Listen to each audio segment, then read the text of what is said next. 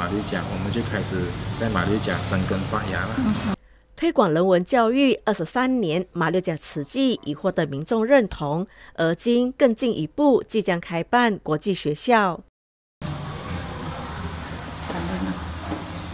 在大爱电视台看到慈济做很多好事，七十八岁的黄春兰阿妈知道慈济要盖学校，马上和孩子捐出一间房子作为建设基金。